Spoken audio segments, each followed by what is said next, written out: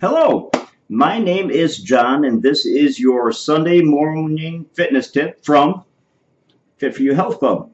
Today I'm going to talk briefly on what gets us into the gym and what keeps us into the gym. What gets us into the gym originally is some variety of a problem, something has happened that needs to be fixed. People typically don't join a gym because they're happy-go-lucky in life.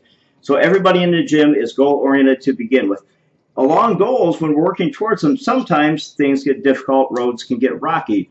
So what I've started to do as of recent has worked really well for me, and I think that it might work well for you also.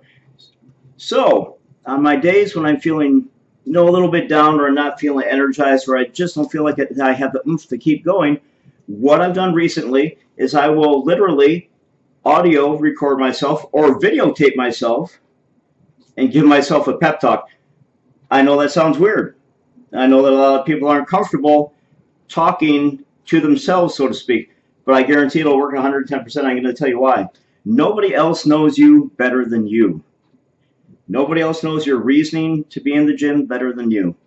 And who else to get real talk with than telling yourself on the days when you feel extreme high motivation, leave yourself a little video message for the times that you don't and that will help see yourself. That will help you visualize where you want to be, the mindset that you want to be in, and what got you here to begin with.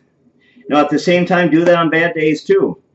Record yourself on bad days. Record your thoughts, your feelings, your emotions, because it takes both of those to work towards your goal. And both those are really good tools that you can use. So, once again, my name is John, and I'm with Fit for You, and this has been your Sunday morning fitness tip.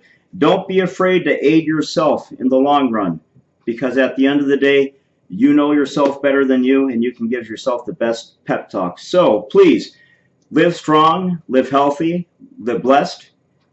And I look forward to seeing you soon. Have a great week, everybody.